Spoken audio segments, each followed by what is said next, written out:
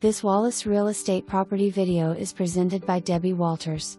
Mineral rights do not convey, build your dream home on this non restricted land. Great for tiny homes, hunting cabin, or any off grid living. Electric is available 3 miles down the road.